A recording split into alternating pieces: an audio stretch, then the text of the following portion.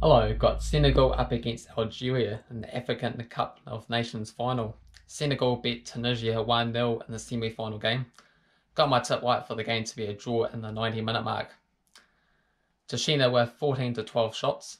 Tunisia leading shots on target 2 with 2 to 1. Sabali had a shot on the right hand post. Koulibaly got very unlucky for Senegal giving away a penalty kick for handball even though that his hands were by his side. However, kick got saved after Savalit take it, took it. The winning goal coming in extra time free kick coming in goalkeeper attempted clearance resulted in Dylan Bronn deflected header from Tunisia that won then the game for Senegal. Algeria won 2-1 over Nigeria got my prediction one back in Nigeria to win. They had more shots in this game with 11 to 8 and also 4 to 2 on target.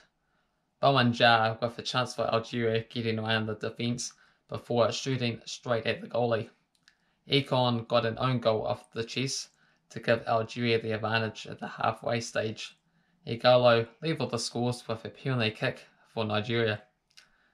Benassi struck the crossbar from a long way out for Algeria, and it was them who got the winner with a last minute free kick. My tip for this game is for Senegal to lift the cup at $1.85. These two played each other in the group stage, and Algeria won that. And Algeria have had a better head-to-head record recently, but I'm going for extra time win for Senegal, a 1-0 for them to claim their first African Cup of Nations trophy.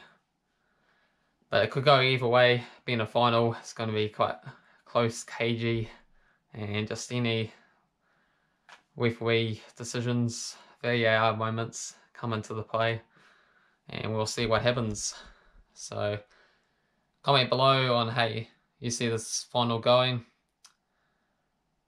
If you enjoyed the video, hit the like button. If you want to see more predictions, make sure you subscribe and I'll see you next time.